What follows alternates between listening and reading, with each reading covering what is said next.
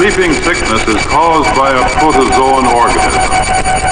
The trypanosome, which may be found in the cerebrospinal fluid, lymph, and blood of infected animals and people.